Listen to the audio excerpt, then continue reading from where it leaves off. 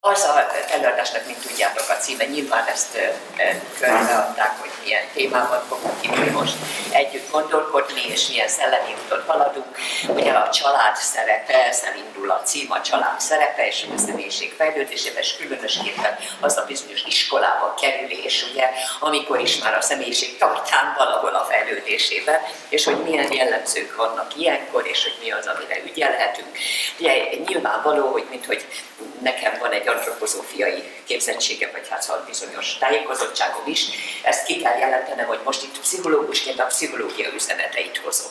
De nyilvánvaló, hogy keresem azokat a találkozási pontokat, amik, amik nyilvánvalóan nem is annyira keresendők, mert természetesek, majd mint meglátjátok. Tehát ugye először a család szerepet a családdal szeretném kezdeni a család, ugye a mikrocsalád, a magcsalád, nukleáris család, amely áll az apából, anyából és a gyermekből, és hogyha ezt nézzük, akkor a szeretek szempontjából nagyon is biológiailag meghatározott, nembeli lényegünkből következő, hogy mi a férfi szerepe és mi a nő szerepe. És csak kitekintésként mondom, mert mind tudjuk, hogy hogy állunk ma a családszerkezetekkel, a családműködéssel, milyen fajta károsodások vannak, de most mi mégis ezt az ideális modell családot képzeljük el, ahol a férfi, aki fizikai felépítésében a nagy teljesítményre képes, fizikai izomerő, ugye eleve olyan az egész adottsága biológiailag, hogy mintegy tudjon az életben azért küzdeni, hogy be a családba tudja hozni, vagy az a fészekbe, amit az anya biztosít, tudja hozni mindazt, ami a család számára szükséges.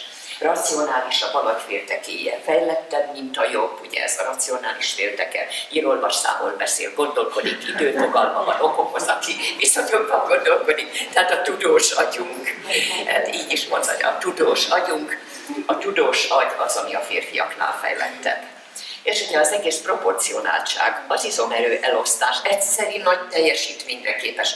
Valóban a gyermeknemzés is egy hatalmas teljesítmény. Nyilvánvaló, hogy ebben a úgyhogy szempontjából ugye az élet továbbvitelében ez az egyszerű nagy teljesítmény kétségkívül hatalmas szerepet játszik.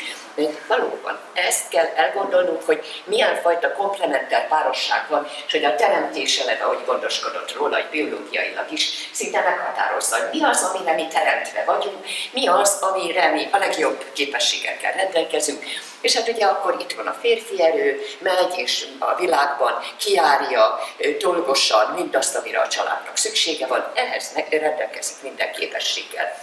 És hát a másik oldalon legyen a nő fizikai felépítésével is milyen azok kis írpárnák, a lágy domborulatok. Elég, hogyha egy barcsai atlaszt megnéztek, hogy a férfi testet le, lerajzolja, és a női testet, hogy valóban ezek a Rubenszi alakok. És azt szeretném mondani, hogy mind tudjuk, hogy archetipikus formáció, tehát a férfiak tudatának mélyén szunnyadó, és átörökítéssel tovább menő olyan vágyképlet, a göbbölydettségek, a női göbbölydettségek iránti vonzalom, ami éppen a nembeli lényeget el is határolja egy férfi, aki szikárnak, laposnak elég, hát azt mondja laposnak, szikárnak itt vagyok én, tehát szerintem azt, aki komplementere, vagyis aki ruha és kömbölyűségek vannak rajta, és így tovább. És ezt mind tudjuk, hogy a férfi lélek, de archetipikus egyébként. Carl Gustav Jung már a múlt század elején mondta, hogy ugye erre kell gondolnunk nekünk nőknek, mert akkor beindult ugye ez a bizonyos, hogy változtassunk az alakunkon, lehetőleg le a zsírpárnákkal,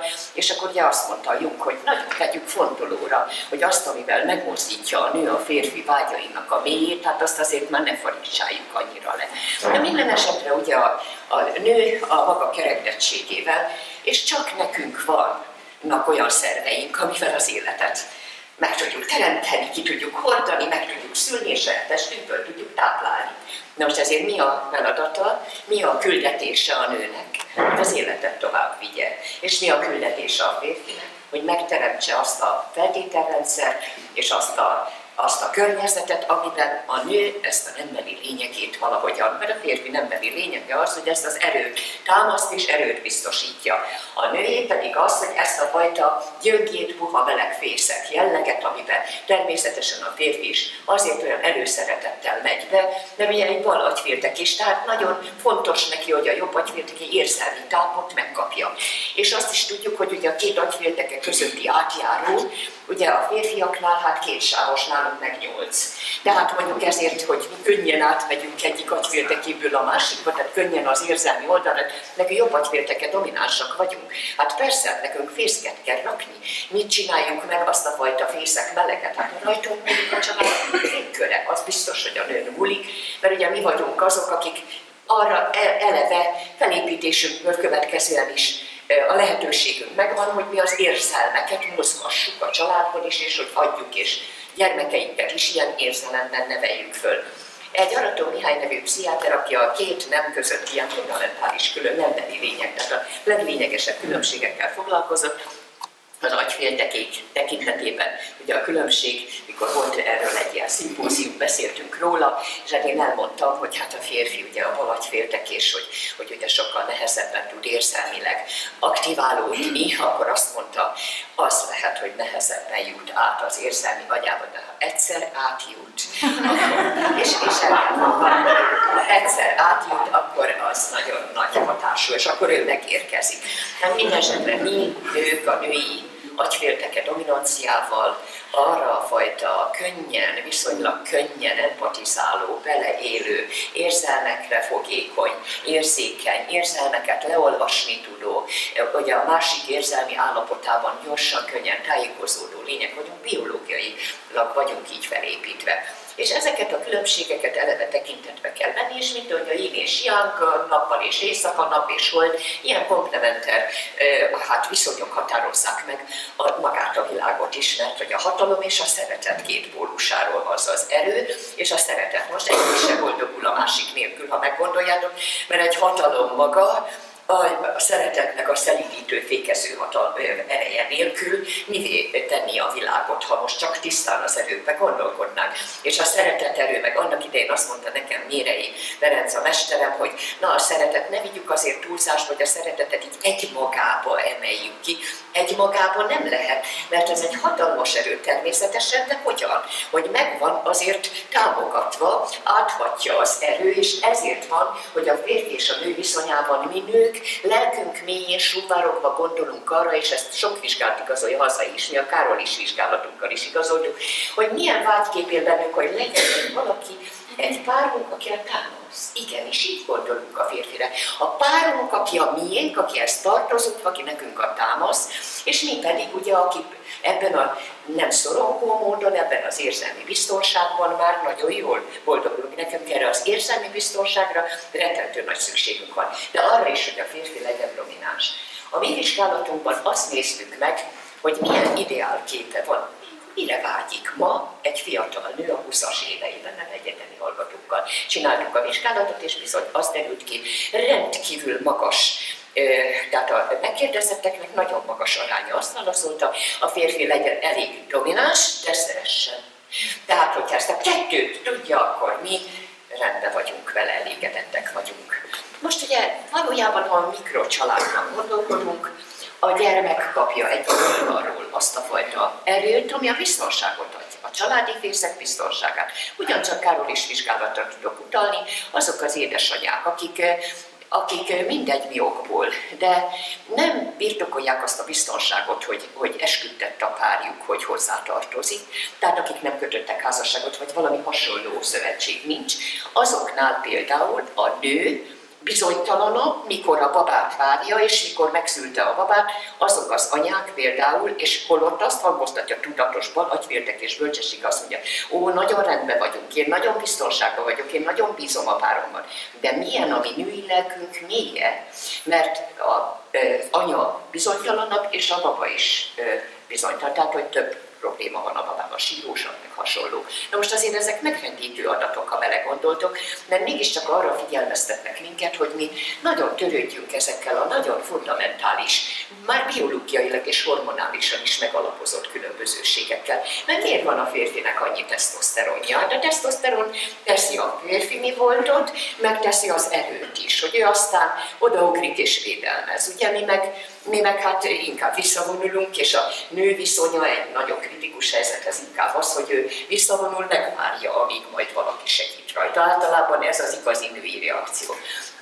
Na most a gyereket a két erőrendszerbe kell, hogy olyan módon optimális esetben beágyazódjon, hogy megszületik és megkapja a kis család egészen a támaszt és biztonságot az apától, a szeretetet az anyától, persze nem nincs így fölparcellázva, csak így, hanem egymást áthatóan. Mert ugye, mint mondtuk, a kettő, ha egymást áthatja, akkor válik igazi erővé.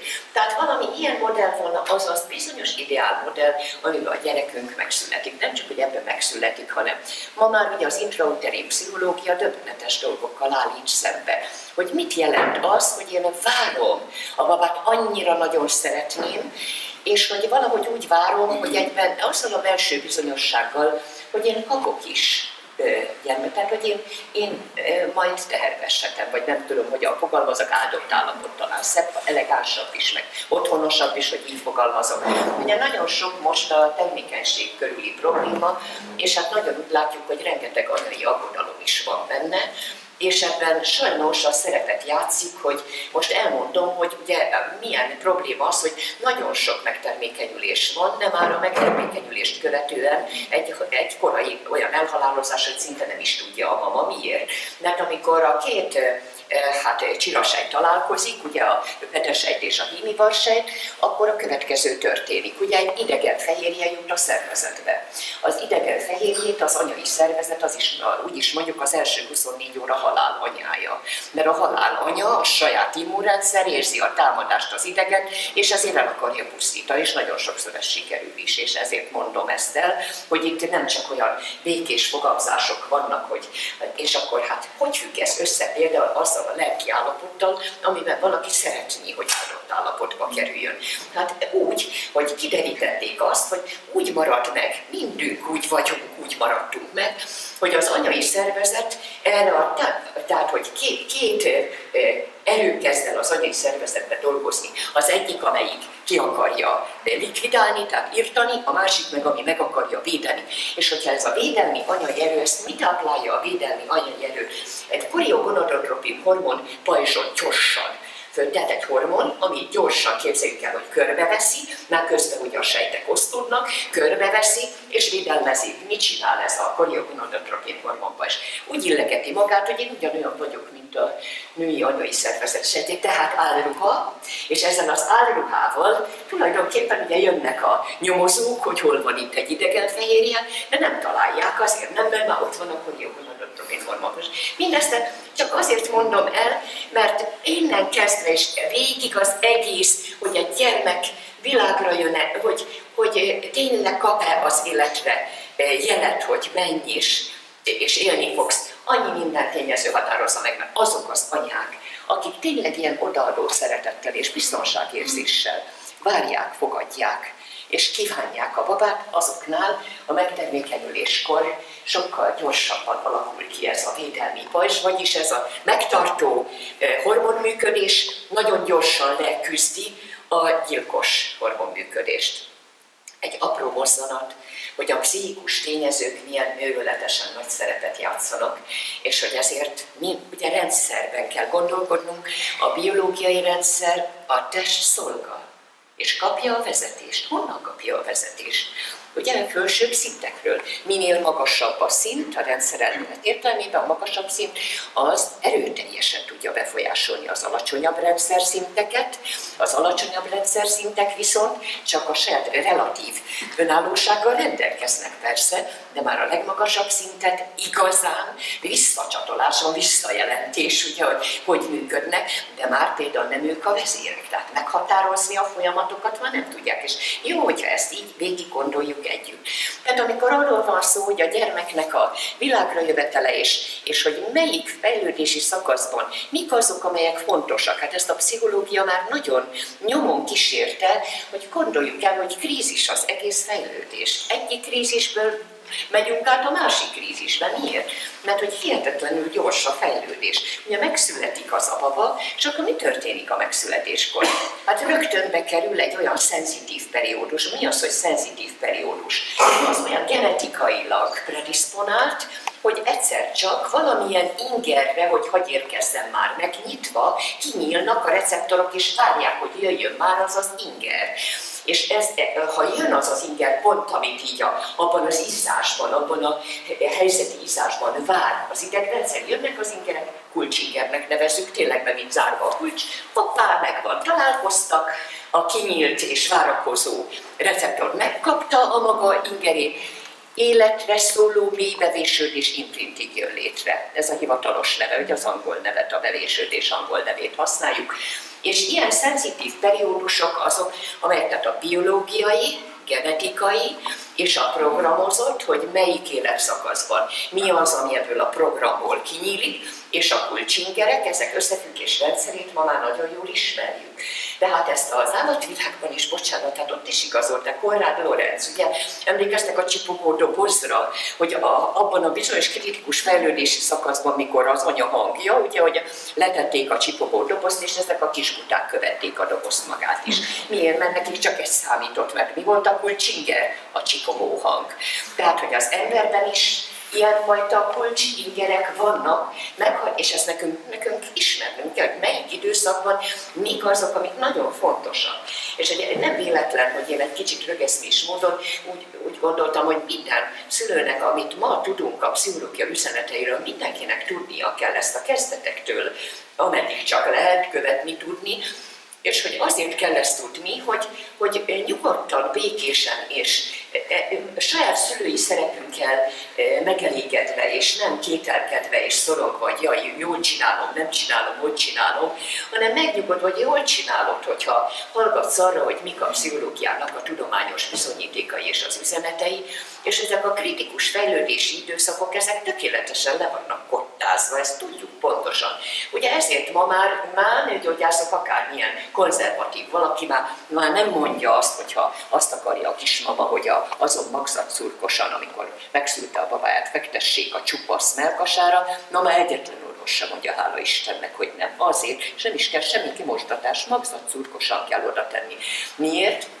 Mert ez az a pillanat, amikor kulcsinge, az anyai bőr érintése, az anyai test illata, annyira, hogy egyszer a cicinek az illatára, utána a melltartó alapján kiválasztja a baba, hogy melyik az övé. Tehát valami olyan hihetetlen imprinting van, bevésődés van, és ez, hogy kötődés, hogy mi kihez tartozunk, hogy mi hát az ember ugye alapvetően társas lény, hát mi se élni, se halni nem tudunk egymás nélkül. Ha már benne, ugye édesanyám szíve alatt se vagyunk egyedül, tehát az egész fejlődés, az intrauterin fejlődés, tehát külön pszichológiája van, amiben most nem megyek bele, hogy melyik szakaszban mi történik a méhen belül. Egy biztos, hogy van egy olyan, amit mondhatok a törvény, hogy szeretettel várni és foglalkozni vele gondolatban.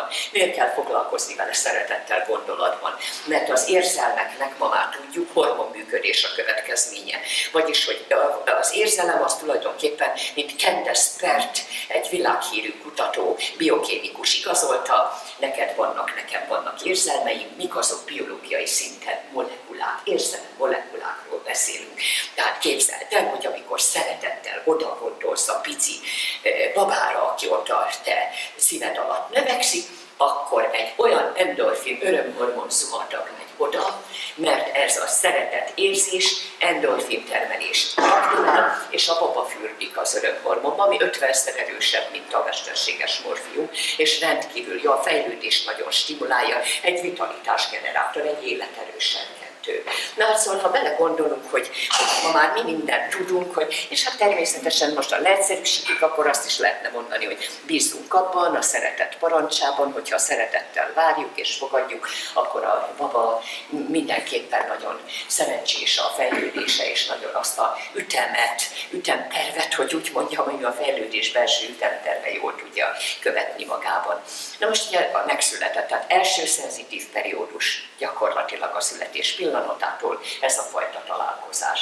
Most ugye már itt megállok, hogy elmondjam mindannyiótoknak, és bocsánat a, a, a tegezésre, én, én tisztelek mindenkit, csak talán így könnyebb nekem, hogy ilyen tegezőre, de hogy sokszor találkoztam azzal a, azzal a szülői riadalommal, hát bennem is volt, mikor így ráeszméltem, hogy, hogy mit csináltam én meg a saját gyerekeimnél abból, amit ma a pszichológia már felderített, hogy kellett volna tenni, de attól még megnyugtatott az a gondolat, és mindenkinek is azt mondom, ha most elkezd hallja mindezeket, és azt mondja, hát én nem tudtam ezt, én nem így csináltam. Miért nem mondták, hogy így kellett volna csinálni ahhoz, hogy még jobban menjen a fejlődés.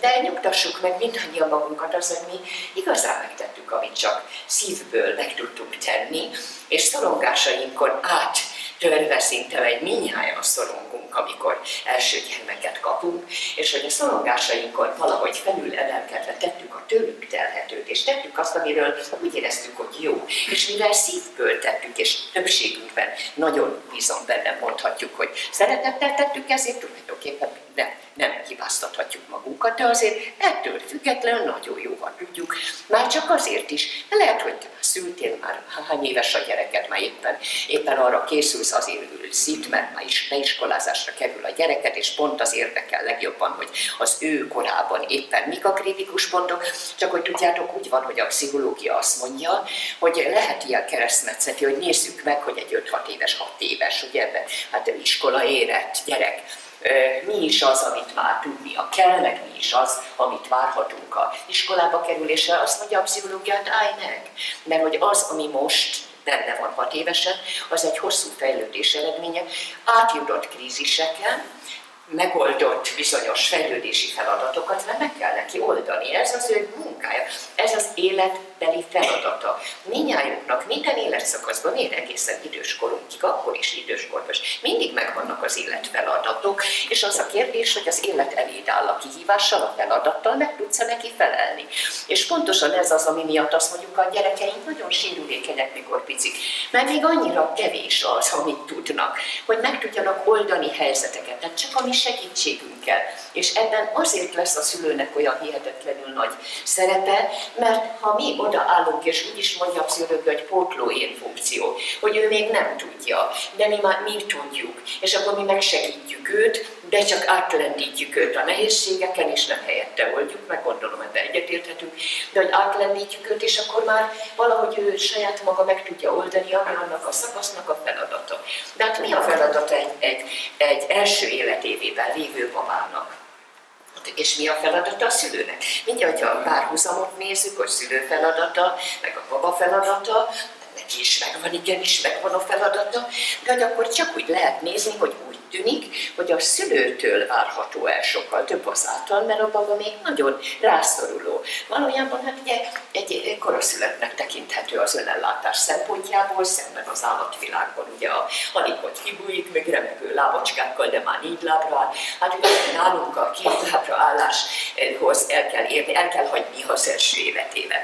Tehát ugye nagyon-nagyon sok az, amit az embernek kin a méhen kívüli életben kell szépen a fejlődésben fölszedni úgy, hogy biológiai programok ugye kibomlanak, képes lesz arra, hogy valamit tegyen, mentálisan is képes arra. Hát most, ha belegondolunk, hogy a, az agyi kapcsolásoknak az a huzalozása, mert hogy igenis úgy képzelhetjük el, ezeket az ideg rostokat, amiknek megvannak ezek a bizonyos védőburkai. Azért, mintha a csővezetékben lenne téve, ugye az, ami közvetíti az inget. Most képzeljük el, hogy hogy még nincsenek ilyen elhatárolódások az idegrendszerben, és még nincs is elegendő kapcsolat Szóval majd, mi majd jönnek az ágacskák, és egy, egy idegsejtnek majd lesznek nyúlványai, és attól függ, hogy mennyi nyúlványa lesz, és ez már attól függ, hogy mi mit nyújtunk, nyújtjuk-e azokat az ingereket, amik kulcsingerek, és amik aztán úgy kivirágozzák, az valójában szépen beindítják a fejlődést, mint egy növény fejlődésének a napsugár. És a, na most, hogyha ebbe belegondolunk, akkor egészen gyönyörűséges, hogy mi rengeteg mindent tudunk adni, hogy a biológiai fejlődés, ami programozott, de ez nagyon jól történjen. De így vagy úgy, de hat éves korra valahogy mégis a mielinizáció elősüvelyesedés, vagyis hogy megvan a hüvely a tok. Tehát befejeződik, és hat éves kor ezt onnan tudjuk meg, ugye, hogy már például a magatartás szabályozásban már látjuk, hogy a gyerek már ugye 5-10 perces ilyen nyugalmi periódusokra, hogy, például oda tud figyelni, valamibe bele tud merülni, tud koncentrálni, és így tovább. A viselkedésében is az, hogy valamit csinált, és egy perc, és már csinál valami mást, aztán megint egy perc, már megint valami más csinál, hat éves unokám van, úgyhogy most éppen van más is, nagyobb is, de most éppen nagyon benne vagyok ugyanebben, hogy most fog menni iskolába, úgyhogy tényleg nagyon sok olyan van, amiben én itt, itt ülő szülőkkel, akik ugyancsak már ilyen iskola előkészületekben gondolkodnak, nagyon rokon lelkek vagyunk, mert ebbe érzelmének is nagyon benne vagyok. De azért azt mondom el, ami a tudományos pszichológiának az üzenete. Tehát ugye a fejlődésben az első életévben a legelső időszak az, hogy hogy tudjon, mintegy, az édesanyja, aki rendelkezésre áll természetesen, hát ezt, ezt feltételezzük, hogy tud az édesanyja szeretetébe elfogadó módon belesimulni. Ugye tudjuk, hogy hogy vannak babák, akiknél például ez a belesimulás, a szerető karba ölelésbe való belebújás például nehezített, hogy ő, ő hogy kevésbé fogadja el. Ez a kötődésnek az előszobája, vagy az alapja, hogy hogy fog tudni kötődni. Egy Herman Imre nevű, már a 30-as éve 28-ban már kimutatta, és világelső volt, hogy az ember biológiailag hoz egy megkapaszkodási ösztönt magával nem kapaszkodik. Hát persze, mert hogyha nem tudnak kapaszkodni a, a felnőtteknek, szülőknek, valakinek a segítségében, nem számíthatna rá, akkor mi történne vele? Hát meghalna, hát ki gondoskodna róla. Tehát ez a nem kapaszkodás, ez az életben a biztonság maga. Van kibe kapaszkodni. Néha a szülészek eljátszák, azt tudjátok, hogy egyetlen újukra rákapaszkodik az a kicsike, és ott csüg rajta akkora ereje van, mert neki meg kell kapaszkodni az életben. Na most ugye megkapaszkodást tudok én a mamába kapaszkodni? Van. Van mama, aki mindig rendelkezésre áll, hogy meg tudok belekapaszkodni, vagy oda tudok bújni, és a testkontaktus, ezek csodálatos dolgok. Az, hogy a testen van, érzi a testem melegét, hogy járok kelek vele, karomban van, hogy hordozom, hogy ringatom, a, olyan hatalmas idegrendszeri fejlődést aktivál, kulcs ingere annak, hogy például a kisagyi folyamatok, a mozgásgrácia, a mozgásbiztonság hatalmas fejlődésnek tud indulni. Például olyan nagyon konkrétan odáig ismerjük a fejlődés szabályait, hogy, hogy kosársejtek és purkinyesejtek, két típusú sejt a kisagyban, ami később nagyon meghatározza az egész mozgásbiztonságot, gráciát a világban. Ezek el tudjuk képzelni, hogy, hogy mondjuk a kosársejtek, szóval mint egy fonat, hogy sok-sok-sok ága van, vagy vagy szövedéke van, innen is a kosársejt elnevezés, vagy hogy olyan rengeteg nyúlványa van. Igen, de minek a hatására alakul ki ez a sok nyúlvány? Ha nem kapja meg a testkontaktust, a ringatást, a hordozást, a, a, ezt, a, amit mi olyan természetesnek csinálunk, vagy természetesen csinálunk, hogy megöleled a babát, és ugye, hogy sír, akkor fölveszed és ringatod. Ma azt állítja a tudományos pszichológia, hogy olyan alapvető bevésődések történnek idegműködésben, hogy az, hogy például valaki stresszel szemben. Mennyire lesz golyóálló. Hát most bocsánat, hogy ezt a kifejezést használom, szóval hat rám a rossz stressz, és akkor rettenetesen izgatott leszek, és hogy az ne legyen olyan kártékony, hogy ne betegedjünk meg a stressztől az anyai első életévben átadott minden öleléseddel, minden, ha testeden hordoztat, ha ringattad, ha nem hagytad sírni, ha felvetted. Ezzel adtál olyan ingereket, amely egy olyan a gondozó, oltalmazó hormon anyát alakítja ki. Oxitocin, endorfin, női nemi hormon, ez a három, ez egy koktél, ami mikor izgatott a baba, tehát te nem hagyod, hogy hosszan sírjon, ne is hagyd. Felveszed, akkor ezzel az izgatott állapotba a szeretet rögtön betör, vagyis a szeretet hormonok, ezek mind ilyen úgynevezett anyai gondoskodó szerető állapotnak a hormon megfelelői, ezek összekapaszkodnak rögtön, összefonódnak az izgatott állapot hormonjai, és.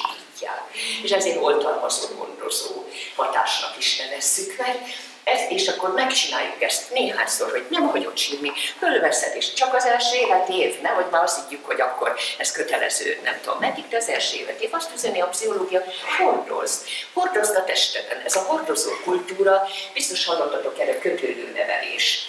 Hordozás, együttalvás igény szerinti szoktatás hármasa.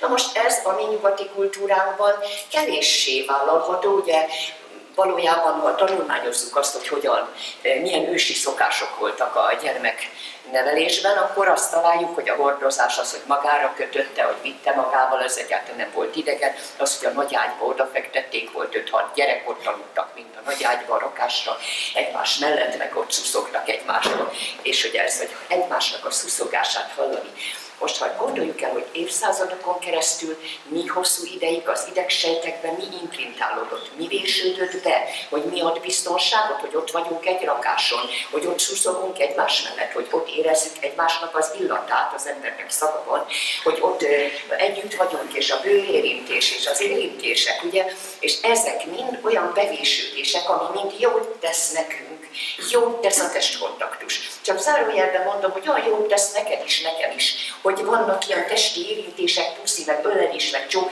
Immunstimulás például. Megöleled, megpuszilod, az immunrendszere sokkal jobban működik. És ez igazolt az egészségpszichológia ezt igazolja. Tehát ez, ezek nagyon fontos dolgok, hogy erről tudjuk. Most ott van az a pici baba, és tudjuk, hogy hirtelen csecsemő halál, ez a katasztrofális csecsemő, csak olyan esetben fordult elő, ezt nagyon jól lenyomozták, hogyha külön helyiségben volt a baba, nem hallotta a hangot, nem volt semmi olyan, ami az ember jelenlétét jelezte volna, tehát a teljes magára hagyottságnak a rémülete, ami egy sikeri vegetatív állapot, amit a baba megél, hogy nincs senki, aki. És hogy ugye hát időfogalom, gondolatok nélkül csak a testi állapot kinyában várja a szabadító megváltást, és nincsen senki és hogy hát ilyen halálok nagyon szorosan összefüggenek ezzel a bizonyos a elhagyatottság fémel érzéseivel. Nem akarok az első időszakkal olyan hosszasan foglalkozni, csak azért muszáj mégis többet mondani róla, mert mi felnőttek például egymással, ugye kötődünk, szerelembe meg, kapcsolatokat kezdünk és szövetségekre lépünk, és azok a kötődési minták, ahogyan az édesanyánk a szeretetével, az életünk első életét évében adta a mintát, hogy ő hogy szeret minket, hogy biztosítja azt, hogy nyugalom van, biztonság van, táplálék van, szeretet van, itt vagyok. Te légy biztonságban, mindig itt vagyok, hívj engem, én itt vagyok. Na most ez, ez a biztonságos kötődésnek az alapja. Aki ezt első életévében megkapja, az felnőtt korára is viszi magával ezt a kötődési mintát, és az olyan is lesz a saját kötődésében, hogy ő akkor, akihez kötődik, itt vagyok, szeretlek egyértelmű, szeretlek kész, kötődöm, el tudok köteleződni. Hát majd később az identitás kiépülésénél, hogy ki vagyok én a világban, hol van a lelki gerincem, hát az elköteleződés a legfontosabb. Ez a királyi megkülönböztet, hogy tud elköteleződni, vagy nem. Tud felelősséget vállalni, vagy nem. Aki nem tud elköteleződni, aki nem tud felelősséget vállalni, annak még nem érett az identitása. Életkor független, lehet, hogy 40 éves, de még nincs érett identitása, mert nem tud elköteleződni, nem tud hűséges, nem tud felelősséget vállalni. Ezek nagyon döntő tényezők, és honnan alapozódik meg? Mi minden számít, hogy te anyukaként mit adsz, milyen vagy, és hogy mennyire adod tényleg saját lényedet, még a szemed is olyan, és minden anyának a szemkontaktus is egy hatalmas eszköze. Három hónapos kor alatt nem annyira jelentős, de három hónapos kor fölött már a látás hihetetlenül jelentős a babának. Azért gondoljátok el, most József Attilának a kései sirató egy átirata jutott az eszembe, ami hát zseni volt ez a költő, azt, azt írta, kinek kedvéért ne piszkítsak ágyba, ha már szemmel se szoktatsz. Hát ez olyan zseniális meglátás volt ugyanis, mikor szoktatunk, minden mama igazolhatja, hogy a gyerek vívült, tekintettel néz rá, és bűvöli a szemével a mama tekintetét. És ilyenkor érzelmeket tankolunk föl. Miért? Mert egymásra nézünk, akkor a telimbikus rendszeret, érzelmi magyar, izgalmi állapot kerül meg az enyém is, kölcsönösen, és hogy kivetítenénk, hogy mi az izgalmi állapot, akkor teljesen szinkronban volnánk egy ségagy, teljesen szinkronban. És hogy gondoljátok el, hogy mikor azt kéri a kísérletvezető, meg lehet csinálni a kísérletet, hogy hunjon már be a szemed, én is. Na, éljünk már hozzá egymáshoz ugyan az az, hogy terület kerül izgalmi állapotba, vagyis, hogy szemmel rátekinten annyi, mintha hozzád érnék, megsimogatnálak. Tehát ilyenfajta ekvivalenciák, egyenértékűségek vannak. Hát ennyire rettenetesen fontos, nem is győzöm, hogy hangsúlyozni, hogy hozzáérsz, hogy ringatod, hogy testemet hordod, hogy testet őrzoktatod, hogy érzi a tested melegét, az ősbiztonságot, mert az első életévnek a feladata a kicsike számára, hogy föltankoljon érzelmeket, sokat, sokat, mert három olyan dolog van a hit, a remény és a szeretet, aminek a biológiai gyökerei az első életévben vannak. Hit, remény és szeretet. Mert hát a hitnek, hát mi az izomzata a hitnek? A reménység. A hitnek a reménység az izomzata. Reménykedni, hogy tudok én reménykedni, mikor öntudatlan vagyok, még nincs öntudatom? Hát úgy, hogy tudom, mert tapasztaltam, mert van egy bizonyosság, fizikai bizonyosság. Én elhikantom magam, magam, sírok egy-kettőt, jön a mama. És jön. És akkor megvan. Jó. Akkor tudok, még egy-kettőt nyikantok, jön a mama, jön. És akkor így épül föl egy a sziklaszilárd bizonyosság, hogy bízhatom az emberekben, az, az, az aki így táplál, szeret engem, ő meg az emberek ilyenek. Tehát így lesz egy biológiai alapokon egy általánosítás, hogy bízhatom az emberekben. Ha én hívok, akkor jönnek, akkor a szükségleteimet kielégítik, akkor törődnek velem, akkor gondoskodnak róla. És ugye hát valójában a hit az olyas valami, hogy nem tudsz így kézzel megfogni, hogy na, mi is, amiben hiszel, hát valójában azt a reménység táplálja. Ugye nagyon sok esetben miben is hiszel? Hát a tapasztalatokra alapozott hit az nagyon tiszteletre méltó, és ami eh, racionális, empirikus, pozitivista tudományszemléletőben pontosan erre építik a hitet, hogy nehogy már itt más hiteket tápláljál, csak akkor, hogyha mint eh, Krisztus sebeibe benyúlok, hogy tapasztaljam ugye, hogy tényleg ő az a Krisztus, szóval eh, Szent Tamási gyanakvással, szóval, hogy, hogy ha meggondoljátok, ez a, ez, a, ez a mikorunk olyan, amelyik ezeket a bizonyítékokat keresi. Evidence-based, csak azt fogadja el, amit tudományosan bizonyítottunk, vagyis amit így konkrétan ellenőriztünk.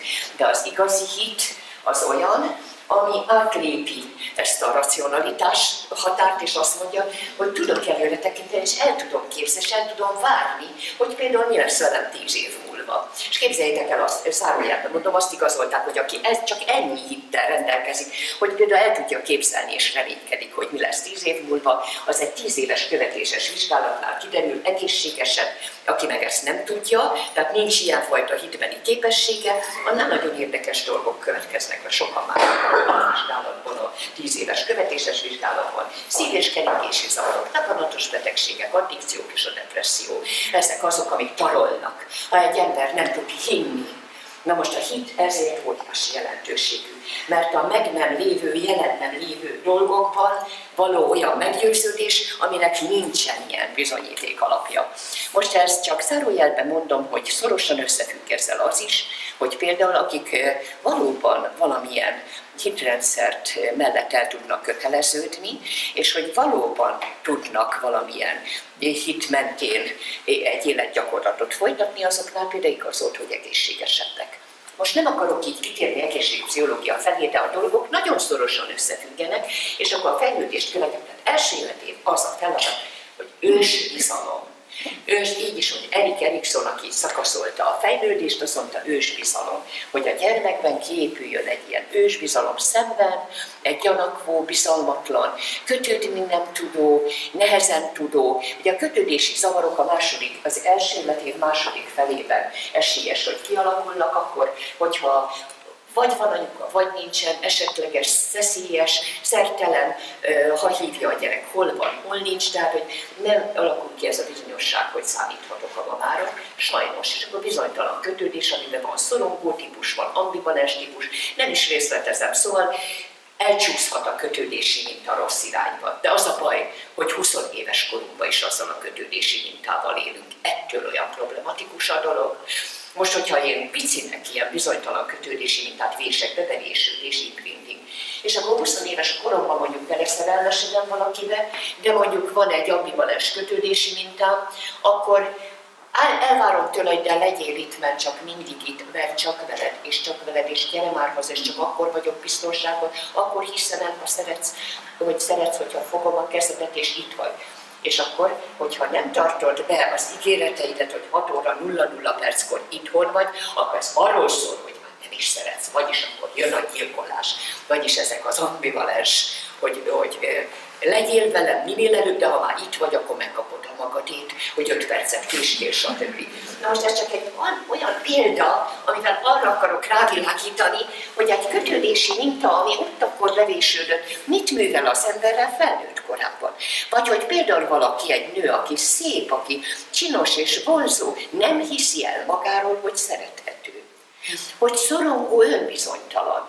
Hát ez is egy kötődési problémával függ össze de nem is megyek már tovább, klinikus vagyok nyilván, ki, ki oldalkok ilyen területekre, de csak azt szeretném valahogy hozni, és most ezt veszünk végig, ugye, hogy, mert hogy eljutunk ám a éves korig, de akkor na, mi mindent fogunk föltankolni, mert rendelkezünk ősbizalommal, már tudunk jól kötődni, tudunk szeretni, örülni, ragaszkodni, ugye hit, remény, szeretet, ugye ezeknek a már sejtszintű alapjai bennünk vannak, és most mindig ilyen ideális fejlődésbe gondolkodjunk.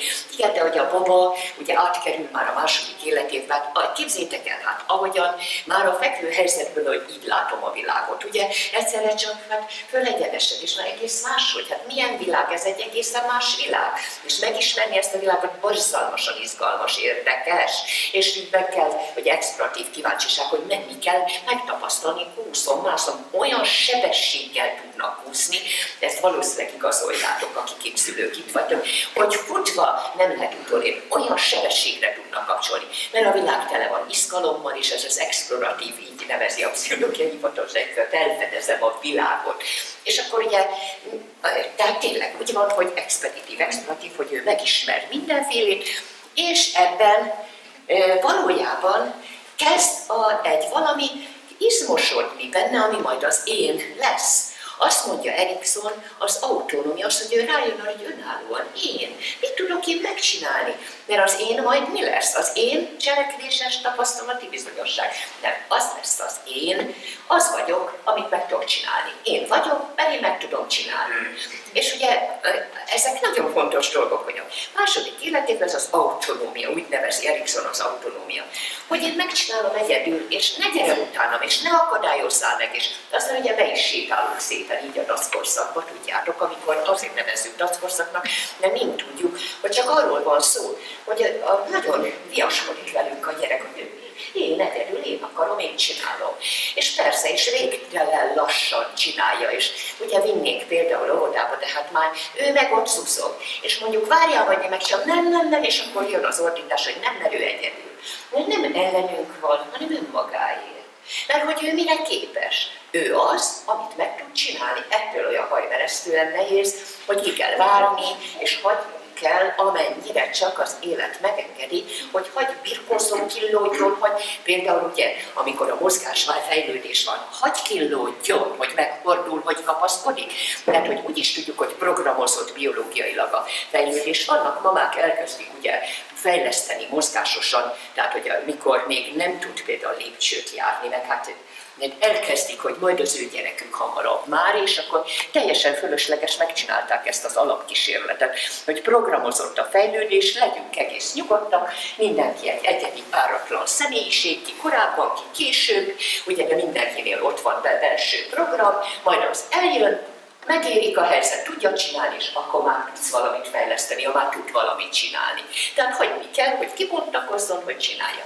Tehát a második életév, amikor ezt a bizonyosságot, hogy egyedül tudok dolgokat megtenni, megengedjük neki, mert hát azért bocsánat. Mit tud ő csinálni, bilizni például, de nem áll úgy, hogy mi, mert ha nem érett még rá, hiába rakod rá a bilire. De ezt mind tudjuk. Aki itt ül, tudom, hogy mindenki tudja. És tudom, hogy már minden okos anyák ülnek itt, akik egyik se kényszerítette rá a bilire, hogy rácsalogassa, hogy ott üljön órára, hanem, hanem mindig szépen ott a bili, nagyon jó pofa játék. Ugye? Ott van valami, ami, és mire jó az a játék. És ugye szép lassan, ha, ha a gyereknek, nagyon érdekes, aki ilyen módon kivár, Lehet, hogy később írja a gyerek, lehet, hogy később fog bilizni, de fog. És beérik az idegrendszer, és képzeljétek, és tényleg bilizik, és oda, és nem máshova. Még viszont, hogyha rákényszerített, és akkor jobb oda, bilizik, de tudja, hogy az neked fontos, és elindul, és itt az autonómiával ugye már jön az idegtépő játék ide pakol le egy kicsit, meg oda pakol le egy kicsit, hogy szankodjál már. De azt hogy ennek milyen a jelentősége, hogy a, a gyerek számára a testéből jövő produktum kincs. Mikor az ikreimmel a szigetre, a sziget közelébe laktunk, a kicsi gyerekeim ikrek, és kiártunk a szigetre, a fiam, hát én mind levetköztettem őket, szépen sütött a nap, és egy plédet kiterítettem, azok húztak, másztak. Hát, elpotyintotta magát a fiam, de hát nagy kincsnek találta, amit elpotyintott, és jött lelkesen oda mamuketje, és hozta, mint egy ajándékot, amit ő produkált. Szóval én akkor én tényleg meg is értettem azt, amit tankönyvből is tudok, hogy a gyerek számára a testéből származó dolog nem egy undormány, hanem az egy produktum, egy értékes kincs. A undort mi rakjuk rá, de higiénés szempontok miatt, azt tudjátok. Na, jól van. Szóval ugye a második életévben lesz, hogy, hallottul, mi az a feladat. Na, akkor átmegyünk szépen egy csodálatos fejlődés, a szociális születésnek nevezik, amikor ugye mi történik? Már nem Pistike, Jancsika, Anna, hanem már azt mondja önmagából, hogy én. És amikor kimondja, hogy én, akkor már összeáll a sok tapasztalat, hogy nem más, hanem én. És nagyon intenzív tud lenni, ennek nyomán az ég is énnek a megerősödése, és ezért itt aztán jól elhúzódhat az a periódus, amikor, amikor próbálkozik, hogy mit engedsz meg, meg mit. Na, mit engedsz meg? És akkor megy ugye a próba, és rendkívül ügyesen, kritikásan figyeljétek meg, hogy milyen jól kitapasztalja, hogy ki mit enged meg, meddig lehet menni, és akivel lehet menni, meg is csinálja. Hogy, szóval, hogy mindig kitapasztalja, hogy kik azok, akik a családban, akik ugye vele élnek, akiknek muszáj hallgatni arra, amit mondanak, és akkor nem csinálja, de ha valaki nagyon engedékeny, ugye akkor természetesen megy addig a határig, míg meg nem állítod. De elkezdődik egy varázslatosan szép időszak, és ez valóban az óvodáskor egy azért csodálatos a fejlődés szempontjából, mert a jobb agyvérdeket, hol van még nekünk az okos agyunk, hol van még, hol van még, míg a sejtek még kezdenek mielinizálódni, még a okos kapcsolatok még, még messze vannak, de már érzelmi kapcsolatok, hú, azok aztán nagyon rengeteg érzelmi kapcsolat. És az érzelmek, hát azok mifélék?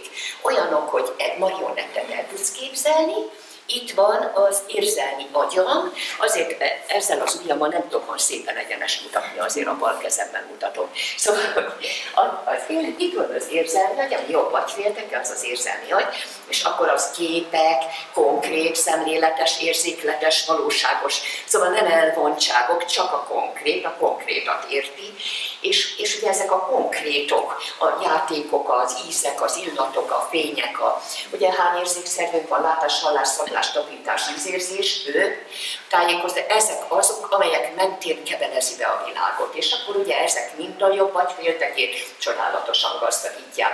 Mert ahogyan beveszi magát a képet, ahogyan látja látványt, hogy játszik, mert ugye játszik. A játék lesz a fő tevékenység. Játszik mindent, megtapasztal, megismer, és a marionett az, hogy is mozog, hogy az adott érzelmi állapotra jellemző hormonkoktél árad le a testébe és olyan sejtekhez, amik a fogadó sejtek. És így len a sejtekben megtanulja, mi az, hogy örömérzés, mi az, hogy szorongás, mi az, hogy, hogy bánat, mindennek. Mert minden egyes érzelemnek, mint ezt egy Kendes Pert nevű biokémikus kimutató, saját koktélja van. Saját hormonkoktélja. Most milyen jó, ha vannak stressz hormont, tehát feszültséget okozó, de ott van már a korán hozott gondozó, oltalmazó anyai hormonkoktél. Már nem fog annyira szorongani. Második életévben van egy fontos dolog, azt a Parksett nevű kutató mutatott rá, hogy különösen fiúgyerekekkel, ha a papa ilyen birkózó kis játékokat folytat. Ez a Lebirkózlak című játék, hogy a gyerek rámászik a papára, és akkor bűvöli meg, milyen más. És ugye, tehát tulajdonképpen a gyerek nagyon be is tud indulni, ugye tudjátok, úgy begerjed. Miért gerjedve? Mert nincsenek a, a húzalok között még elválasztók, tudod, át, átrefapszis, áthangzásról veszek, átömlik az ingerület egyik vezetékről a másikra, és elönti az a gyereket. Na most, hogyha a papa ebbe a birkózásba, ugye a gyereket, hát ugye szabályozza.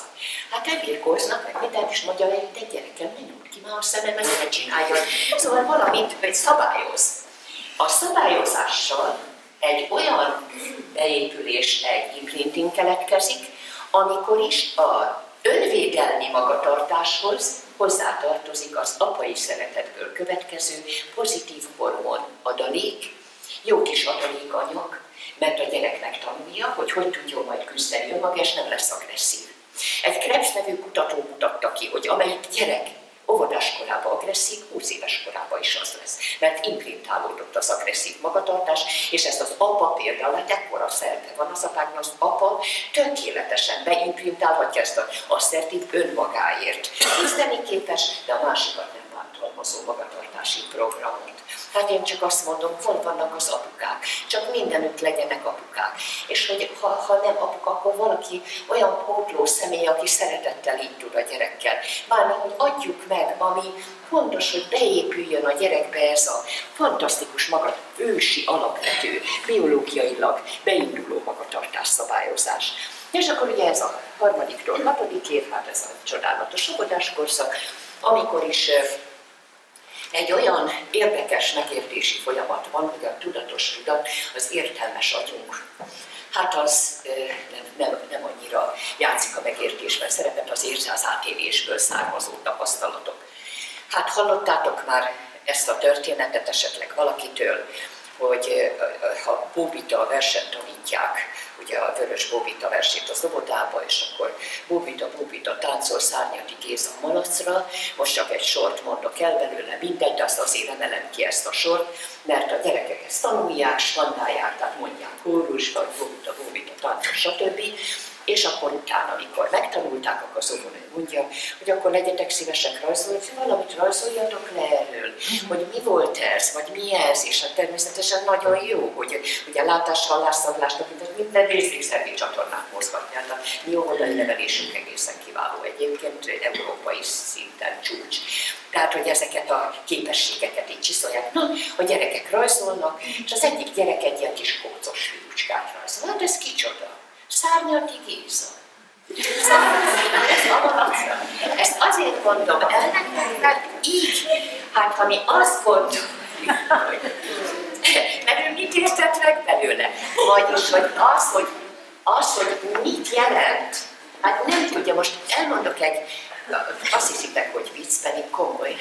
Egy anyukától hallottam, hogy ugye annyira mindent beszív magába, és hát ugye mit Utánoz például azonosul, érzelmi alapon azonosul egy lánygyerek, ugye kivel is a mamájával. Kinek viszonylatában? A papa viszonylatában így tanulja meg, hogy egy nő a férfi viszonylatában mit csinál. Tehát a mintát az anyuka adja, az utasítást meg, hogy hogy kell csinálni, azt meg a papa.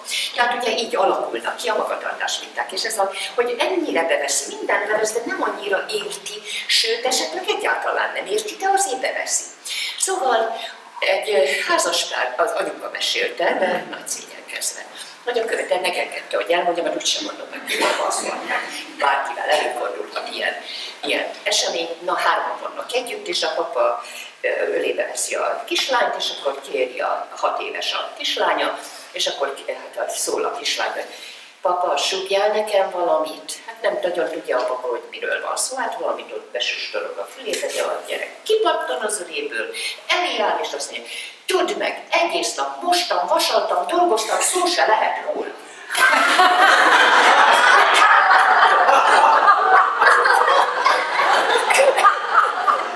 Hát így azonosulunk. Történik velünk. Fogalmas sincs, azaz, hogy tényleg nincs fogalmas. Mert ugye nem érti, de már bevette, és hát aztán belegondolunk, hogy nem tárul szavára, máját ő lesz a gyakorú. Esetre ez akkor varázslatos. Azért varázslatos, mert minden, mint a szivacs, megy be a gyerekbe, és a látott minták, beépülnek, Na és akkor ugye így érünk el oda, hogy közben meg a bal agyfélteke, hát nagyon izmosodik, a sejtek nagyon differenciálódnak, a húzalok szépen megkapják a megfelelő, ugye milyen inhüvelyt, nevezünk, tehát ezt a bizonyos a saját csatornát, amit nem Szóval kis okosodik a gyerek. És azt honnan tudjuk, hogy ilyen történik? Hát mind tudjátok, akik itt ül, ültök hogy már például azt mondja, tudok már számolni, már, már el tudom mondani egy, kettő, három, és akkor boldog, hogy már számokat tud mondani. De a számfogalom az valagyféltekés. Tehát eleve egy elvontsága a szám. Tehát, és egy csomó dolgot már így ami már valagyféltekés, hogy ahogy rajzol, akkor már, na rajzoljunk akkor karikákat, meg hullámvonalat, meg ez azt, de már szélrajzot tudja -e tartani a kereteket, stb.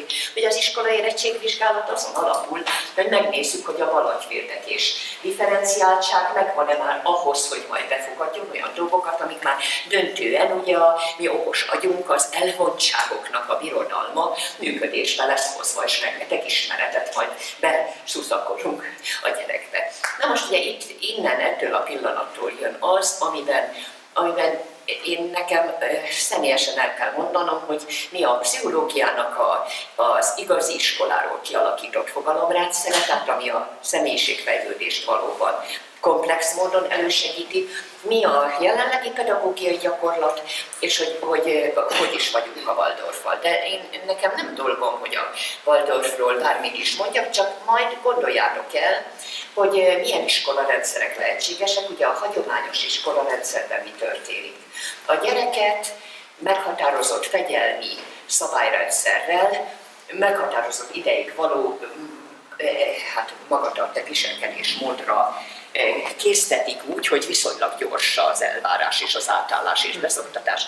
A gyerek olyan dolgokat ö, ö, találkozik ebben a hirtelen rátörő viselkedj másképp, és akkor be kell tartanod, amit mondok, hogy általában ilyenkor előáll azt mondjuk regresszió, azaz visszacsúszás. Szóval úgy csinál, hogy bocsánat, kicsi vagyok én, még, még én nem tudom ezt megcsinálni, és akkor inkább kisbaba vagyok, bepisilek, meg, meg mindenfélét csinálok, mint a kisbaba, mert hogy nem vagyok én még olyan nagy. Ez a regresszió. Mikor a gyerek visszacsúszik ilyetelmében, hiadalmában, hogy ja Istenem, mi, olyan dolgokat várnak el tőlem, amit eddig nem csináltam, én ezt nem tudom csinálni. És akkor ugye visszavegy kisbabába. És akkor által ezt, ezt hivatalosan regressziónak nevezünk. Na most minden olyan iskola rendszer, amely, és én nem címkézek, de minden olyan iskola rendszer, amely számol azzal, hogy az átszoktatásban lehelet finoman kell eljárni. A gyerek lételene a mozgás, és ezért a mozgásnak és a nyugalomnak olyan fajta finom ritmusát kell megteremteni, amiben bizony nagyon oda kell arra figyelni, hogy hány percig képes a figyelésre, aztán, hogyha nem figyel, akkor mire lesz képes, és a játékot úgy beleszőni, és a játékból úgy átvezetni, ugye azt, amivel meg akarjuk ismertetni a világot. Már nem keltünk kíváncsiságot. Akkor lehet, hogy nézzetek, az ismeretek, azok olyanok, mint a gyertyák. Hát millió gyertyát gyújtsál meg. Az igazi tudás meg, mint a fákja millió gyertya fényese ér föl a fákjáihoz, mert, mert ugye a fákja bevilágító. Az igazi ismeret milyen? Amit a gyerek szeretettel sajátít el. Tehát az szeretni azt, amit vonzódni hozzá, kíváncsivá válni, és így élvezni magát a folyamatot, óriási a jelentősége. Na most ugye én azért értékelem nagyon a Waldorf tanítási attitűdöt, mert eleve a gyerek fejlődéséhez igazított lépésekben adja azokat a követelményeket, amit a gyerek teljesíteni tud, és mivel még mindig jobb agyfélteken dominál, ó, bőven még, és ezért nagyon sok olyan feladatot ad, amivel a, a, most vegyük végig az érzékszerveket, látás, hallás, szaglás, tapintás, ízérzés, látvány. Vagyis, hogy olyan módon nyitja ki a világot, hogy rengeteget látványon keresztül a hangzás, a zene, a dallamok, a ritmus. Mind tudjátok, hogy ha nem, akkor mostantól igen, hogy a zene az egyetlen olyan művészeti ág, ami két agyféltekés. Mert a művészetek általában az érzelmi agyat veszik intenzíven igénybe, de az idő az valamiféltekei sajátosság. A ritmus pedig időben tempírozott, ugye struktúrálta volt, tehát mind a két agyféltekét gyönyörűen mozgatják. Mi a mi célunk? Hogy találjon szerepettel egymásra a jobb agyfélteke, a játékosság, a könnyedség, az időtlenség, nincs időfogalma a jobb gyerekének nincs.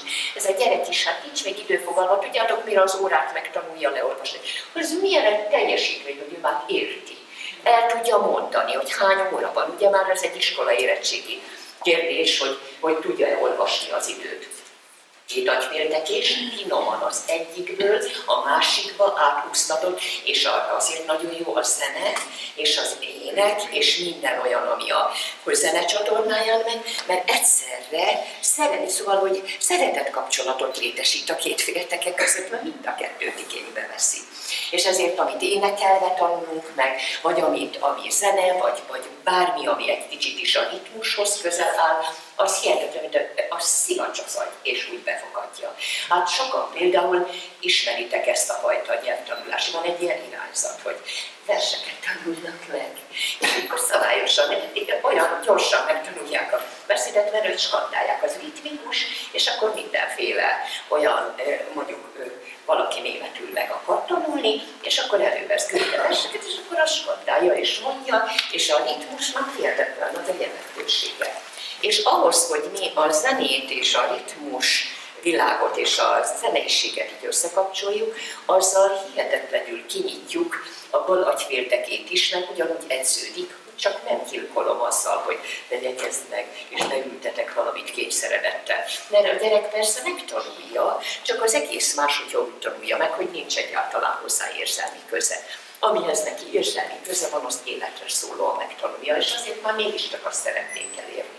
Na most ugye, ha azt veszük, hogy a mozgás egy milyen fantasztikus dolog, a tánc.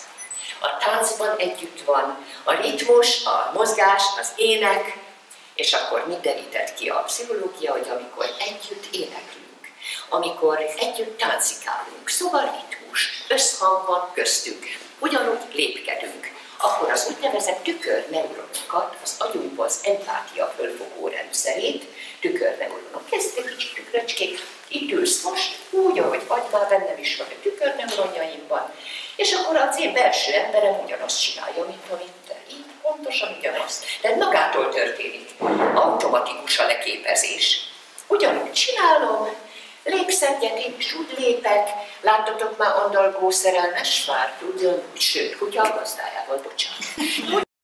Ritmusban szokognak, és az összetartozás idős házaspár fölismeritek arról, hogy azonos ritmusban lépegetnek, látszik az összhang, de az egységtudat alakul ki, borzasztó érdekes. Tehát idegrendszeri folyamatokban van egy összekapcsolódás, egy olyan fajta beleélés, amikor átömlik hát agyi elektromos vizsgálatok igazolják, ugye, hogy rárezonál, hogy szinkronitás alakul ki az agyban. Tehát óriási dolog. Na most, amikor bevisszük a, az iskolába a gyereket, és találkozik azzal, hogy jaj, de jó van, táncikálunk, énekelünk, tapsolunk meg, és ugye hihetetlen, hogy milyen fejlesztő folyamatok is indulnak, mi történik, csak játsszuk azt, hogy most utánozzál engem, állj be ugyanabba a pozícióra, csináld meg és akkor csinált meg úgy, hogy tükörképesen, csinált meg, hogy oldalazonosan. Én fölemelem a bal, tudjátok, bal és jobb, hú, ez milyen egy nehéz feladat. Valaki egy életen át se tanulja meg.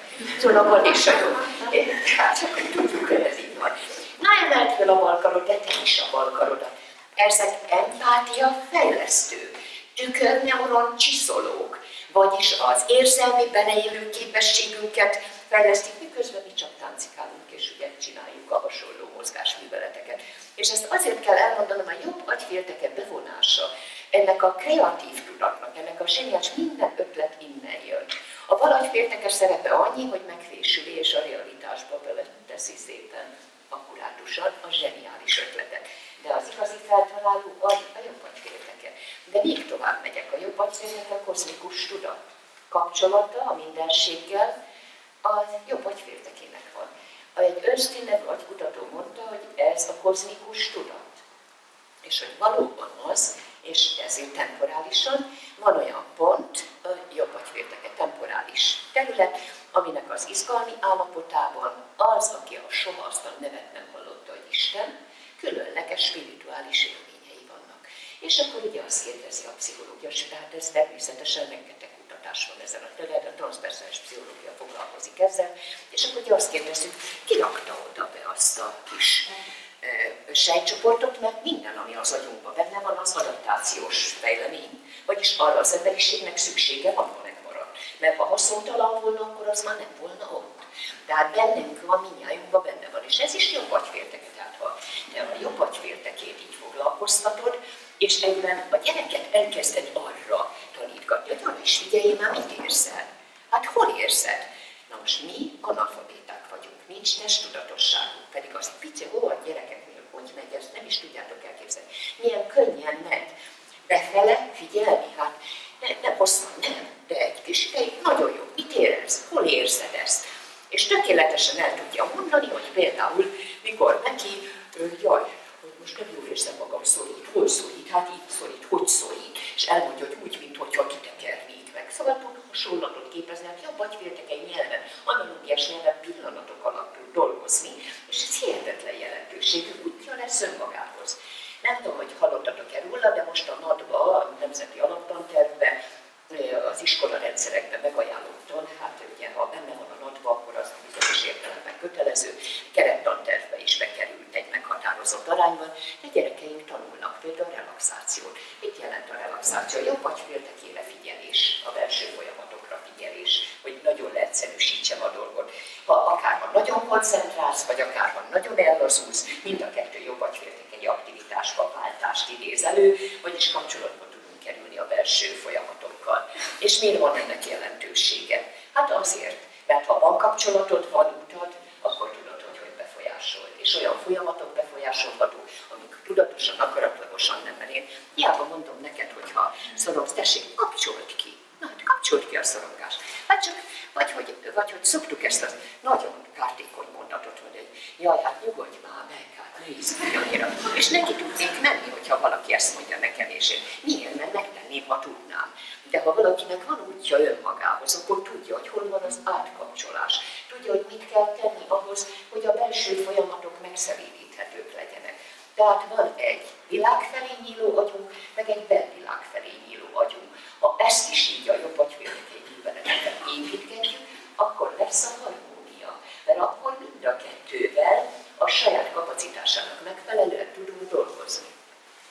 Hát, hogy most arra gondolok, hogy mit tud egy beiskolázásra kerülő gyermek. Hát először is nem ismerek olyan gyereket, aki bárhogy lelkesedett, hogy most megyek iskolába, amikor tényleg elkövetkezik az idő, hogy na megyünk, fogja a mama kezét, hát a kezembe van az emléke annak a kis izzat szorításnak, ahogy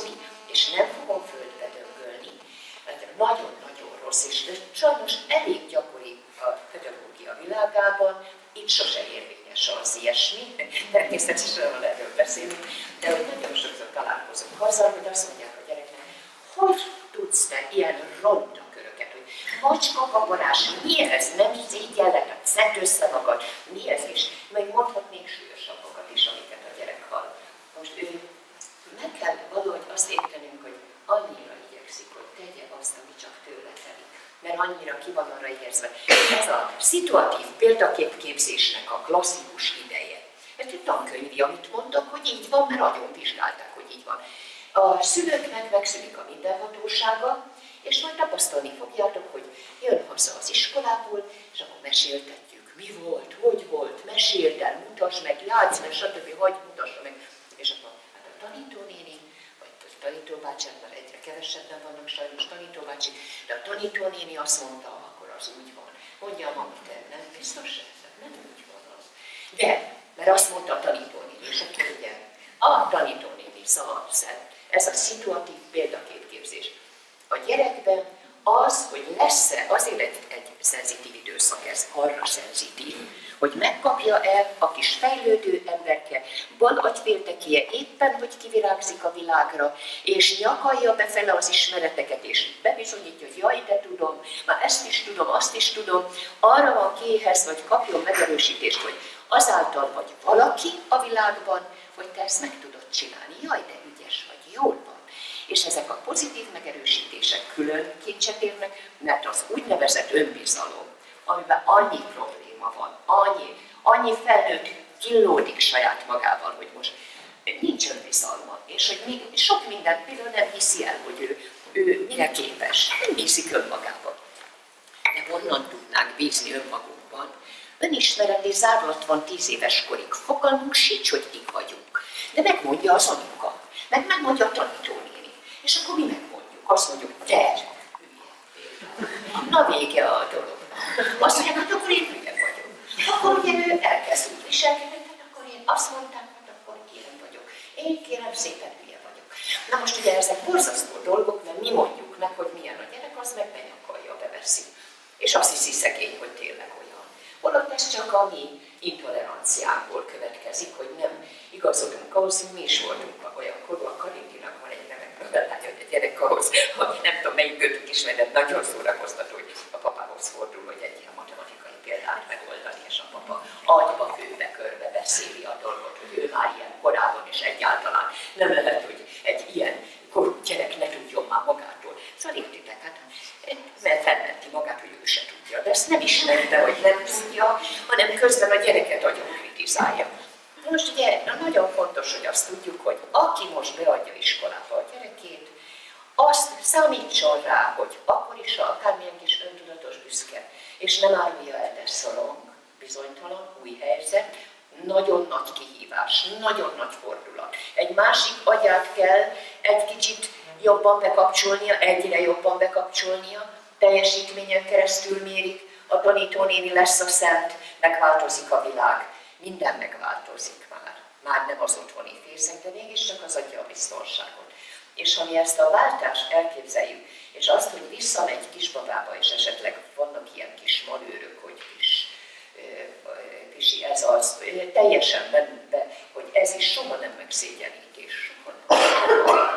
A megszégyenítés, lemeztelenítés, ezek, hogy valakit kipellengérezünk, vagy testileg lemeztelenítünk, ez a két legsúlyosabb trauma az emberi életben. Képzeljük el. Tehát senki ne szégyenítse meg a gyereket soha, semmivel, semmivel. Akár milyen helyzet volna, hogy ő úgy gondolja, mert őt megszégyenítették, sarokba állították, uboricára térdepeltették, nem tudom, mit csináltak vele.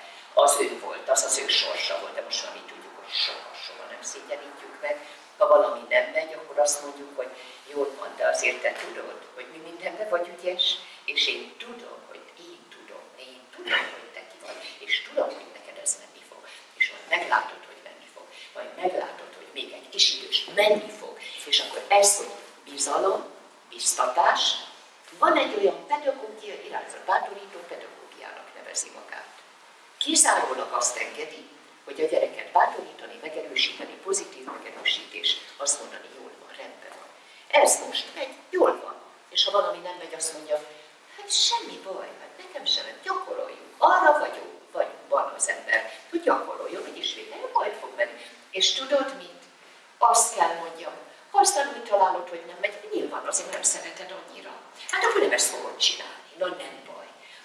Szóval, hogy valahogy azt felmenteni abból az állapotból, amire ki van hegyezve minden idegsejtje, hogy ki vagyok én, mit érek, mit tudok, mennyire vagyok okos, ügyes és megfelelő.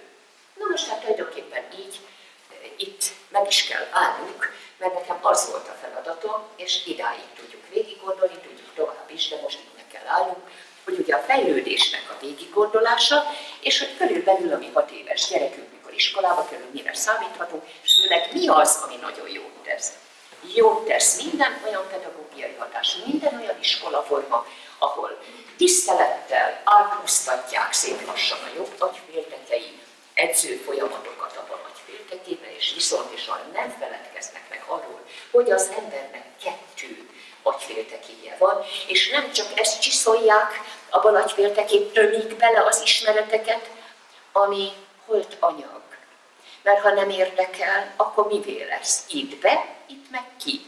Vagy ismerjük a vizsgahelyzeteket, bocsánat a kifejezését, kiböfögi, amit megtanult, annyi, el is felejti elég hamar. De egy olyan, amit az ember cselekvésen, játékon, tapasztalaton, rajzon, éneken, mozgáson, érzékszervi csatornákon keresztül a jobb agyférteke érzelmi ágyába berakott, azt felejtjük el. Tehát ezért jó minden olyan tapasztalatszerző folyamat, ami élményekbe van ágyazva. És tudomásom szerint a Waldorf iskolában a személyiségnek ez a teremtő kibontakoztatása az, ami a központi cél. Tiszteli az egyedi ember, az ember az univerzum páratlan csillag, amíg az egyvető égrek se egyformák. Vagyis, hogy kibontakoztatni valakiből, aki, ami benne van, az azt kívánja, hogy merje a gyerek megmutatni, hogy mi van. A nevelés nem más, mint növelés. Minek a növelése? A felfedezett. Nem tudunk kívülről, képzeljétek sajnos. Én nem tudok matematikai tehetséget bedugni az agyba. De ha az van, de ha az van, észreveszünk, azt nagyon ki lehet bontakoztatni. Speciál most ilyen tehetséggondozó folyamatokkal foglalkozom, egy, egy ideig, legalábbis a jövő éven biztos, hogy, hogy egy nagyon nagy, nagy kísérlet az, amire rászántam magam, és pontosan ezt akarom bizonyítani, hogy valakiben, ami van, ami felfedezett, mindenki kapott valami csillagot a homlokára, de mit? Hát muszáj, hogy felfedezzük, hogy mi van benne, azt felfedezni, és azt kidajkálni, és azt felerősíteni. És akkor az húzza maga után a mínuszokat is. De egyben nagyon érdekes, mert minél inkább kap valaki valamiből nagyon sokat, annál inkább valamiből nagyon keveset, vagy nagyon hiányzik. Tehát azt fel kell fedezni, hogy a fény mellett hol van az árnyék. De ez csak úgy lehet, hogy a szülő és a pedagógus kéz a kézben egymást informálva a dolgokról, dajkálja ki a gyerekből a pozitívumokat, amiket felerősít, és a negatívumokat pedig szeretettel csitítja, és hogy elszúnyadjanak, és ne okozzanak a gyereknek az életében problémákat. Nagyon magasló tehetségeket is ismerek, akiknél nagyon komoly. Miért? Mert egyből van, amiből nagyon sokat kaptak. Nagyon, van egy egyetemes igazság, most már így öregen merem mondani ezt a tapasztalataim alapján, hogy ha valaki nagyon sokat kap valamiből, valahogy ezt az másik oldalt is megtapasztaljuk, hogy miből van, hogy nem megy neki, miből nincs neki. Bálintenre megengedte, aki a híres festőművész, aki az Európai Festőiskolának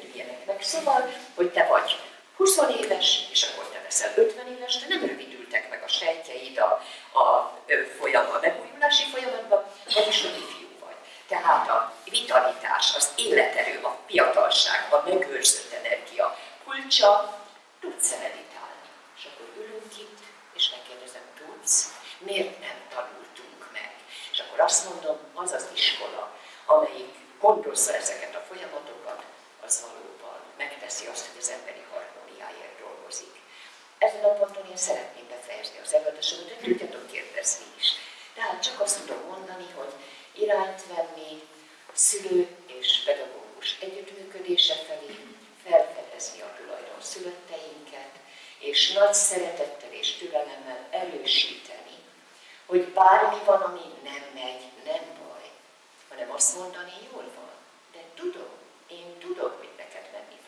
És aki ezeket a fantasztikus mondatokat tudja, azt tud jól nevelni, és bocsánat, hogy ilyen leegyszerűsített dolgokról van szó, de győződjetek majd meg róla, hogy ez tényleg érvényes, és ez így történik.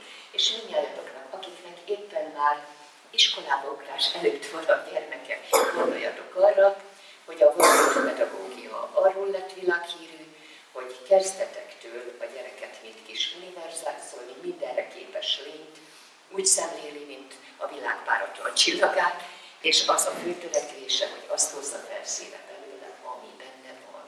A felfedezés, hogy mi van benne, és egyképpen fejleszti a jobb és a galant érdekét. Így aztán majd eldönthetjük, hogy merre tartunk a gyermekünkkel, a iskolába adjuk, és köszönöm szépen a figyelmeteket. Köszönöm szépen.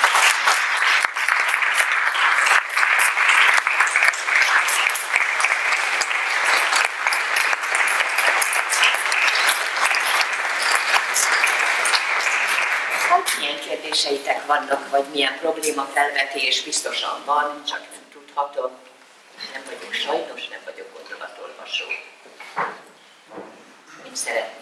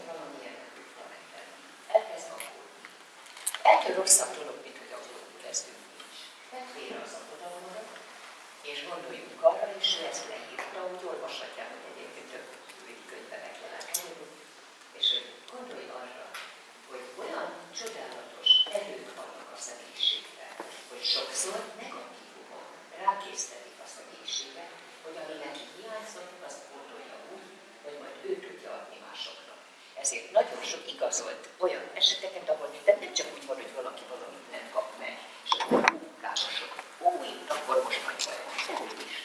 Hanem, hogy olyan erők tudnak megnyílni, nem dajkált engem eléggé az anyukám. Most van egy hordozással összefüggő vizsgálat, 201 nehány anyuka töltötte ki az internetes képévet, rengeteg a válasz még, még földolgozás alatt áll, és az egyik, amit az egyik szakdolgozó, hát növendékünk, a Károlin már kimutatott, például aki nem ringatott a mamája eleget. Tehát, hogy van is erről egy, mert elmeséli, hogy hát hat hetes voltál, nekem meg már mennem kellett dolgozni, aztán vigyázott rád a nem tudom, kicsoda Kati néni itt a szomszédból, stb. Tehát, hogy nem kapta meg ezt a bizonyos alap, hogy milyen fantasztikus, hogy ezek aztán mamák lesznek, és én ezekkel a mamákkal kapcsolatba kerülök, és azt mondják, nem győzöm babuskatni, nem győzöm szeretgetni. Tehát mi lesz? A mínuszból mi lesz? Plusz. Tehát ezért ne essünk kétségbe, mert hogy nem, másrészt meg szeretném azt, hogy nincs neked egymagadnak akkora hatalmad, hogy te egy ember fejlődésébe ennyit tudjál tenni. Nem kell ezeket olyan e, súlyjal cipelni, hogy nem tudtam én megadni. Hát annyira összetett és gyönyörű a fejlődés. Igen jó, hogy mi ezt tudjuk. De ez éppen olyan, mint most az jutott eszembe, hogy tudjátok, mint hogy megtanuljuk az életünk során, ez szabad, ez meg nem szabad.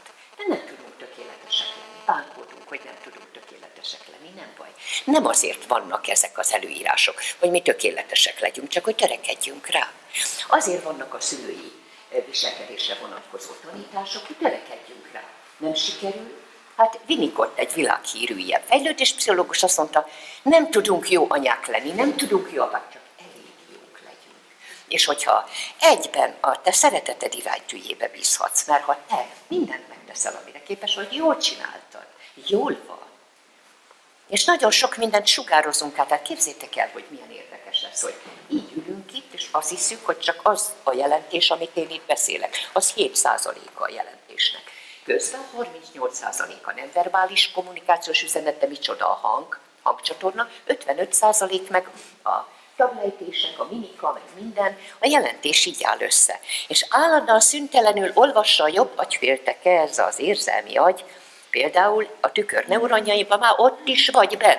Akár akarom, akár nem, ez így van, meg te is, meg egymásnak így ülünk benn a érzelmi agyába, és azonnal leolvassuk, hogy mi van. Hát állandóan információ tömegbe úszunk.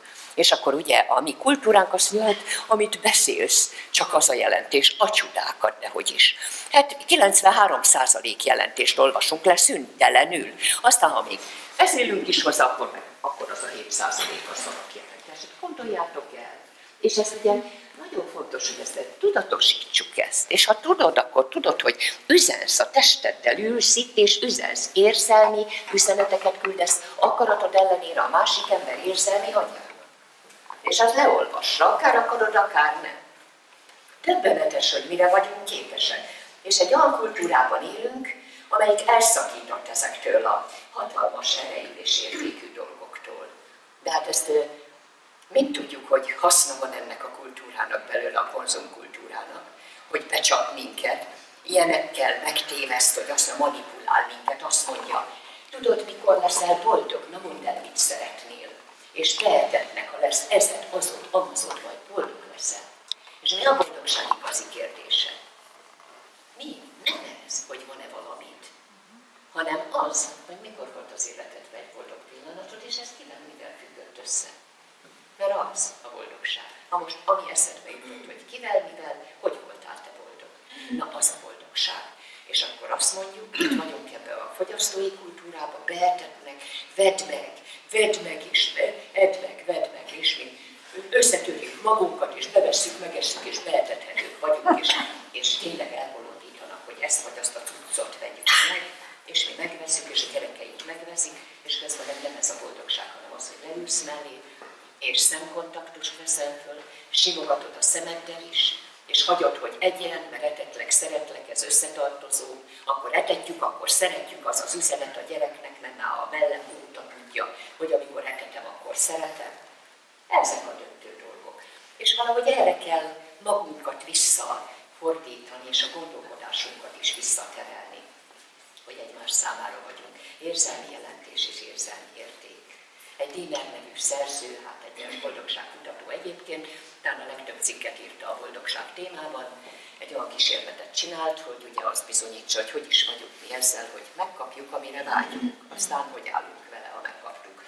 Hogy nőket összegyűjtött, akik úgy nem voltak a küllemükkel elégedettek, domborulnak, ilyesmi, és akkor hát lehetett plastikai műtét. És akkor hát maga egyik megtervezték magukat, hogy nézzenek. Na meg volt a plastikai műtét, két hét a fájdalom, hát azt levették a vizsgálatból, még ugye kicsit hát magukhoz térnek a műtét után, és akkor ott álltak sugárzóan, olyan domborulatokkal, olyan orral, olyan mindenfélével, ahogy elképzelték magukat, meddig tartott a boldogságuk. Két hét, de az is csak úgy, hogy volt egy olyan férfi, aki eljárt, és azt mondta, hogy hát tudod, hát lenyűgöző, valóban gyönyörű vagy. De hogy kinek tessünk magunknak, rájövünk, hogy nem az a fontos, hanem hogy mondja már nekem valaki azt, hogy ilyen vagy olyan vagy lehetőleg szép vagy kedves. Ugye ezt várjuk egymástól. Tehát, hogy lényegében hedonisztikus alkalmazkodásnak el is nevezték ezt, hogy, hogy lekonyul valahogy a, a, a nagy hevület, az örömérzés. Elfogy, kimerül. És tudjátok még, mit bizonyítottak? Hogy az öröm leggyakrabban akkor fordul elő, mikor elmúlik valami rossz. Képzeljük. Hát, valami rosszakat legyen, vagy emlékeztetek rá. Hogy meg könnyebbülünk, mikor valami rossz elmúlik. Ó, mindjárt jó egy vizsga utáni helyzetre gondolj, hogy mindjárt ilyen. Hát ilyen, hát még mondhatnám tovább, de nem mondom. Remélem, hogy igazán tudtam. Kicsit hosszasan nem tudtam válaszolni a kérdésekre.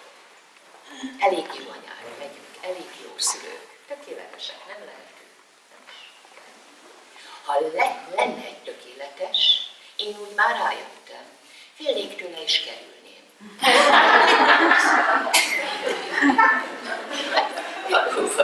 Hát most a szemben összeveti magát, saját gyarlóságait, és az, hogy ezt nem Még van-e valamilyen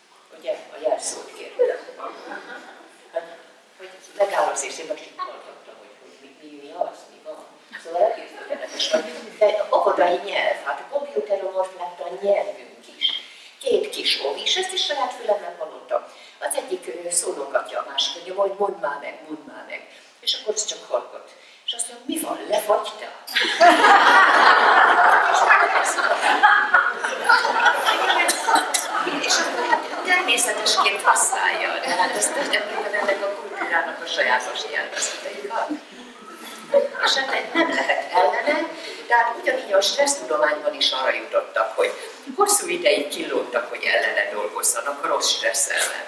Aztán rájöttek arra az egész egészségpszichológia épül, hogy nem ellene kell dolgozni, hanem ezekkel az erőkkel kell ennek a felhasználásával, így lett a negatív stresszeknek a, az felhasználásából kialakuló módszertan, és rájöttek arra, hogy stresszek, örömstresszek kellenek. Mert az örömstressz a, az örömközpontot elkezd ingerelni, az meg akkor rögtön munkába veszi az immunrendszer, meg az erőszinttermelés, és akkor vitalitás generátor funkcióitól, és háromszor annyi EU stressz, mint amennyi is stressz, és soha senki nem betegszik meg. Na hát például ilyenek, hát igen. Háromszor annyi pozitív stressz, mint amennyi negatív, csak hát nem tudunk háromszor annyit produkálni.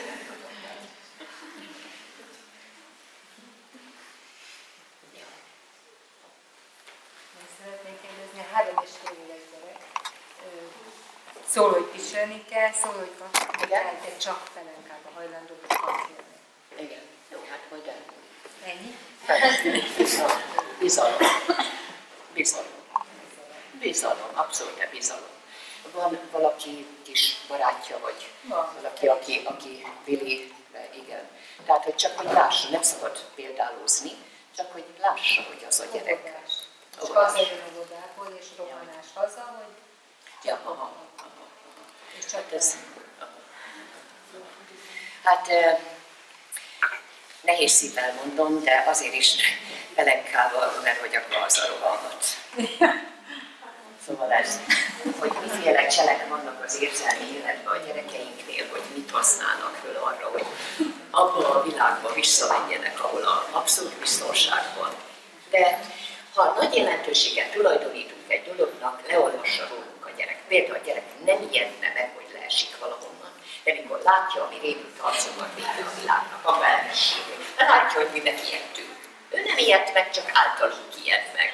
Szóval ugye ennyire, ha én azt jelzem neki, hogy hát ez nagyon, már megint, már, már megint ez a pelus, hát már mikor hagyod el? Nem, nem, de hogy is, hát nem, nem, nincs jelentősége a dolognak. Jól, jól. Most pelus, hát én úgy is tudom, hát úgy is tudom. Hát olyan nagy fiú vagy, mit tudom én, fiú, kis, kislány. Hát olyan nagy lány vagy, hát én úgy is tudom. Hát, hát ilyen nagy lány, hát nem baj. Nyugodtan csinálj, nyugodtan. Ez, ez a nyugodtan csináld, paradox megerősítés, hogyha a pici például úgy szoktuk mondani, hogy hisztizik. Voltál már ilyen? Ott hisztizik, csinálja az agyinát. Mondd azt neki, annyira szépen csinálod. Én veszem a látványt, csináld még egy kicsit. Paradox technika csodálatos eszköz, mert leállított vele a nem kívánatos magatartást. Tehát jó, csináljon. Persze, jól van. Semmi baj. Majd kinövött lát. Mindenki elért, azt te is elfogod. Én, én tudom, én bízom benne. Adjuk meg a bizalmat. Igen. Ugye egyik gyerek olyan idegrendszer hozott magával, ami inkább a szorongás irányába viszi a folyamatokat, a lánygyereknél meg eleve a hormonműködés is olyan, ami a félénkséget aktiválja, ugye nem a rámenőséget, mint a fiúgyereknél a hormonműködésen. Azok is kis emberek és a nemüknek megfelelő hormonműködésben annyi minden felől szedtünk össze, annyi mindent, hogy mivel jövünk, csak hogy jól kitapasztalni, hogy mi az a különlegesség, ami van a gyerekben, és hogy Szóval amiben ő nagyon jeles, abban nagyon érdemes őt erősíteni, és akkor ez majd úgy elhagyja majd, elhagyja. Igen. Tessék. Nekem ehhez kapcsolódóan egy kérdés. Igen. Nem lehet egy visszacsatolás, hogy túl korán ment esetleg óvodába, és ezért produkál olyan szüneteket, amik hogy kisebben mutatja ez, ez, ami elhangzott most, amit egy pszichológiai bölcsesség, mert érvényes lehet ez az összefüggés. Ez is lehet, meg más is lehet. Csak ugye elkezdünk okokba gondolkodni, és elfelejtjük, hogy az emberi dolgoknak története van, nem oka. Története van. És ezért nem okokat kell keresni, hanem hogy volt, történet, hogy volt, visszafejteni, hogy volt, a legkorábbi időszaktól kezdve. Minden olyan. Képzétek el, van egy érzelmi agyunk, amelyik hogy emlékezik, hogy hasonlókat rak, hasonlót a hasonló. Ha nincs idő folyamat, nem tudja időben elrakni az emlékeket. Sejtcsomó korunktól a sejtekbe be, beégett tapasztalatok, tehát minden tárolódik. Egy Kendall nevű biokémikus Nobel-díjat kapott azért, mert a sejtmemóriát igazolta, hogy a sejtünk holográfikusan memóriaként működik, minden sejt, sőt tud a nagy egészről. Hát most ezt képzeljük már el. El se tudjuk már képzelni. Annyira bonyolulmas. De minden tárolódik. Most ez egy története van valaminek. Hasonló hasonlóval. Tehát ugye valami történt, az hasonló, meg az ahhoz hasonló, meg a még hasonló. És így akkor végiglapozhatunk, hogy mi, mivel függ össze. És a történet kibogozható.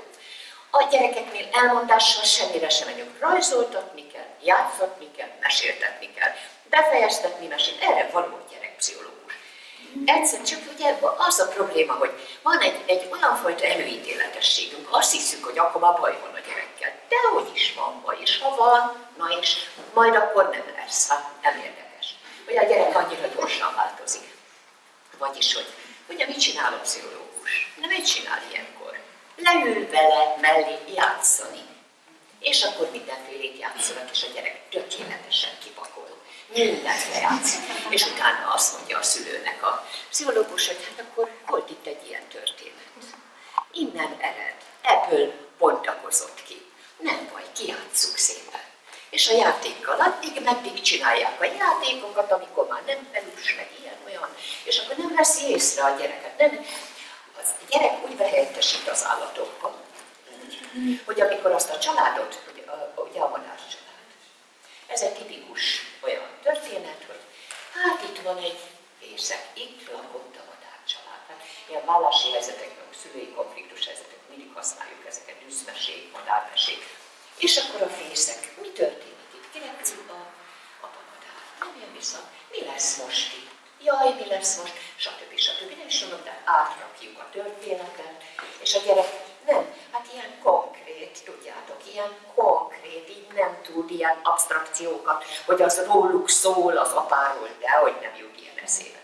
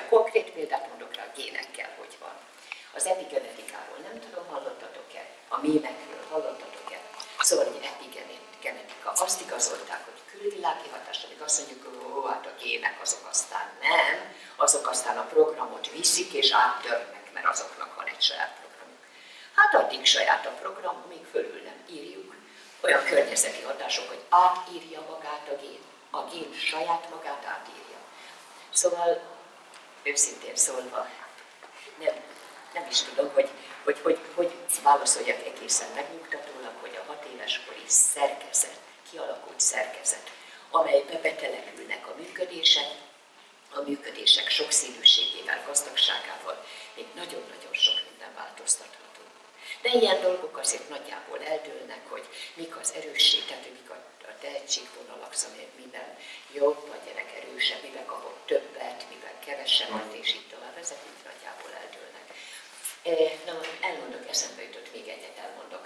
A pszichiáterek rettenten megörültek, mikor kiderítették, hogy a HTTLPR5-ös nevű gén rövid allélia, rövid változata a depresszióval szoros összefüggésben van. Van neked ilyen? Nem. Na, akkor depressziós leszel. Illetve aki, aki depressziós, annak van génje.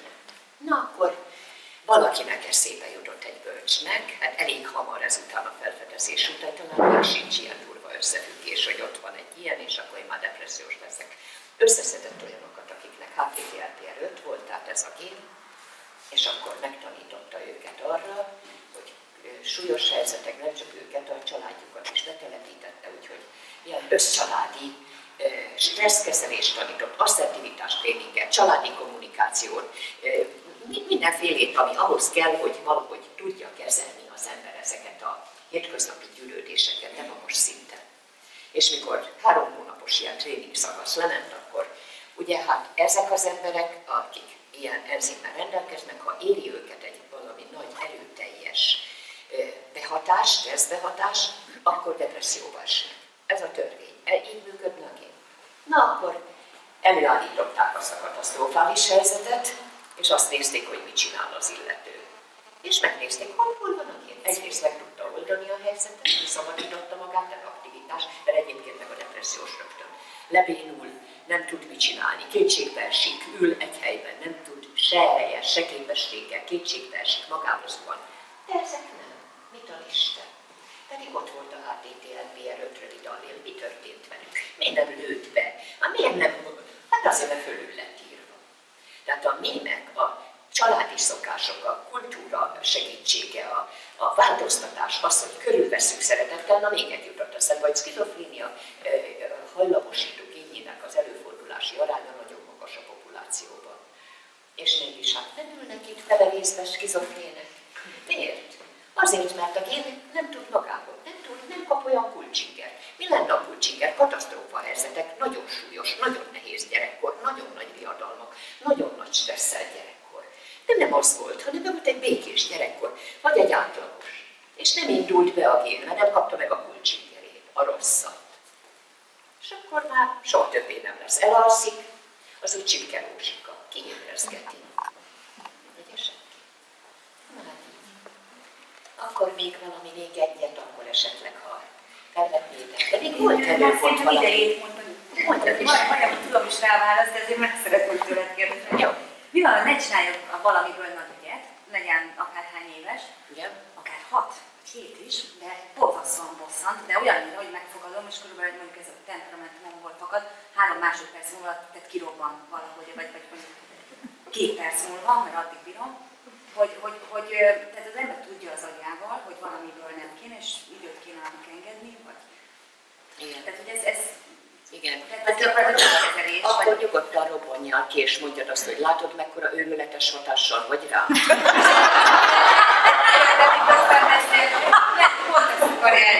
Hát ez a cél. Ez a cél. Tehát csak ugyan gondoljatok bele, hát miért csinálják az és sokszor azért, hogy, hogy tudják, hogy hol van ott egy gyenge pont, oda foglalkozva. Sokszor például egy elviselhetetlen magatartás hátterében föltárjuk azt, hogy arról szól, hogy különben nem kapja meg az odafigyelést. Sajnos általános változata is. Mert gyerek akkor van gondoskodást és figyelmet, ha beteg. És elkezd betegeskedni. Igen. Voltatok már úgy, na, magunkra is. Voltatok már úgy, hogy nem akarok iskolába Nem fáj, nem tudom, jafogok. Mondom mamámnak, nem, nagyon beteg vagyok. Szegénykém. És főzök neked teát, akkor jössz. És akkor ugye jókat kapunk, szép melegbe ott aluszkálunk, kipihenjük magunkat. Nem csináltuk meg. Mert ez van nagy egészében is, amikor egy gyerek eldönti, hogy úgyse kapok máshogy figyelmet, ha beteg vagyok. Nagyon bánnak, jól bánnak velem, és benne megy a betegségben. És kialakulhat egy életre szólóan fals beteg Na Isten őriz persze. Na igen, na még egy, jó? Csináltam ezt fordítva, hogy nagyon nehezen jöttem az iskolába a gyerekkel, és igen? mondtam nekik, hogy fájós, jaj de jó, maradj itthon. És sose akartak itthon maradni egy nap után. Hát így is lehet. De ugye ehhez neked nagyon jó kapcsolatba kell menned velük, velük vele, hogy tudod, hogy ez lesz a várható következmény, mert szeret suliba járni. De ezt nem mindenkivel lehet megtenni. Hát én azt hiszem, hogy jól együtt voltunk idáig. Tartott? Yes. Yes. yes.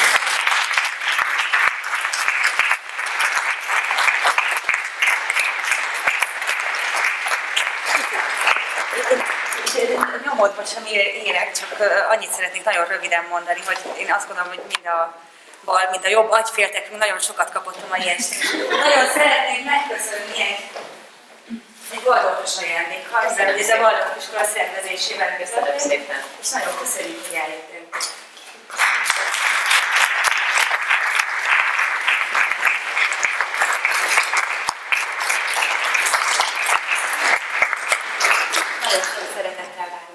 Köszönöm szépen. A Waldorfosoknak az a nagy szerencséje, hogy euritmiát tanulnak. Én magam is tanultam, nagyon-nagyon szerettem.